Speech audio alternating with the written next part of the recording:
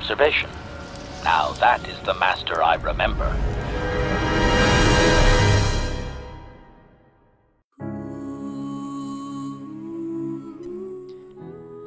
Muy buenas a todos chicos, soy el Corona Gamer y hoy os traigo un vídeo muy especial. Una guía básica para principiantes del Star Wars Galaxy of Heroes, que tiene dos funciones principales. La primera, guiar a los nuevos usuarios para que tengan un buen inicio en el juego. Y la segunda es para aquellas personas que ya jueguen puedan aprender algunos trucos para mejorar. Antes de nada quiero recordar que ya ha salido el nuevo juego de Lego Star Wars de Skywalker Saga y que lo podéis conseguir con un descuento gracias al link que os dejo en la descripción y así ayudáis al canal. Vamos a empezar el vídeo nombrando las 8 reglas de oro que todo el mundo debería de conocer.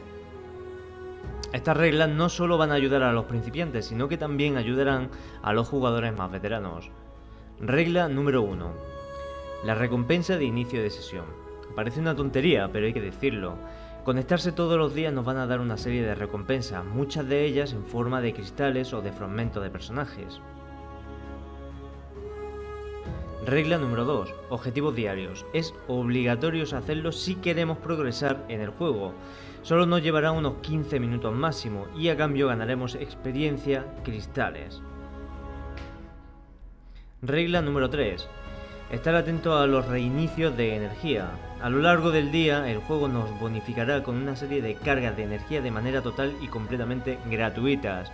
Si aprovechamos estas recargas conseguiremos alcanzar más rápido el nivel 85 y si ya somos nivel 85 podremos utilizar esa energía para conseguir ese objeto que tanto se nos resiste. Regla número 4. Tarjeta de, datos Broncium. Todos los días el juego nos regala 10 tarjetas que pueden contener personajes, fragmentos, entre otros. Regla número 5. Tiendas de cargamentos. Tenemos distintas tiendas y podemos comprar en cada una de ellas distintos objetos. Tendremos que saber muy bien qué comprar en cada una de las tiendas. Más adelante explicaré en cuál nos centraremos. También tenemos que tener en cuenta que al igual que las bonificaciones de energía, las tiendas también se actualizan varias veces al día. Regla número 6. Dar lo máximo posible en los eventos. Los eventos nos reportarán unas recompensas muy suculentas y variadas. Lo único malo de los eventos es que son muy variados a la hora de, de los requisitos, lo cual puede provocar que nos desviemos de nuestro objetivo.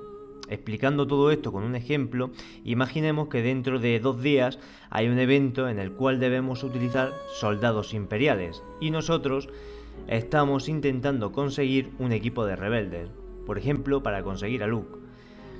Lo mejor será seguir intentando mejorar a los rebeldes y en el evento de los imperiales haremos lo máximo que podamos.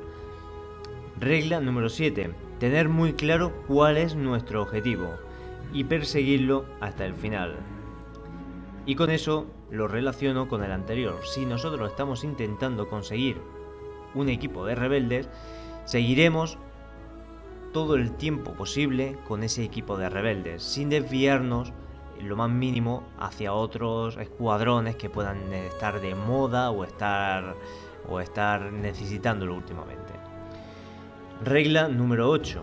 Elegir un buen gremio y ayudar al mismo todo lo posible. Y con ello me refiero a que todos los días se pueden conseguir aproximadamente unos 600 tickets para ayudar a nuestro gremio. Pues intentaremos aportar, si no son los 600, por lo menos la máxima cantidad posible. Pero que eso se consigue fácilmente con las reglas que hemos mencionado anteriormente. Ahora ya que sabemos las 8 reglas de oro vamos a explicar cómo tener el mejor inicio en el juego. Lo primero será seguir las instrucciones de Faith nuestra guía en las holomesas que nos ayudará a conseguir los primeros 12 o 14 niveles. Con ellos conseguiremos desbloquear las mesas holográficas de la luz, oscuridad y las batallas de cantina. Según vayamos aumentando el nivel, iremos desbloqueando nuevas mesas. Nuestro primer escuadrón en el que nos tendremos que centrar en conseguir serán los Fénix. Tenemos que llegar al nivel 1F de la cantina para conseguir fragmentos de gira y subirla a 7 estrellas lo antes posible. A la misma par, iremos consiguiendo también fragmentos de Chopper en la tienda de la misma. O sea, que gracias a que nosotros estamos jugando en la cantina para conseguir a gira, eso nos va a dar una moneda especial para gastarla en la tienda de la cantina y con ella conseguir a Chopper. Una vez que por ejemplo consigamos a gira a nivel de 7 estrellas, subiremos hasta el nivel 2B de la cantina para encontrar los fragmentos de Ezra y repetiremos el mismo patrón anterior, o sea, subirlo a 7 estrellas. Una, vez desbloqueamos la tienda de arenas de escuadrones, intentaremos conseguir fragmentos de Kanan Yarrus y posteriormente conseguiremos a Zep en la tienda de la Guerra Galáctica. Así conseguiremos nuestro primer escuadrón sólido, los Fénix. Un gran escuadrón que nos va a servir tanto como para defendernos como para poder atacar. Realmente este, este tipo de escuadrón no creo que nos vaya a llevar más del nivel 85. Yo creo que antes de llegar al nivel 85 ya tendremos nuestro primer escuadrón sólido. Así que chicos, no perdáis el norte.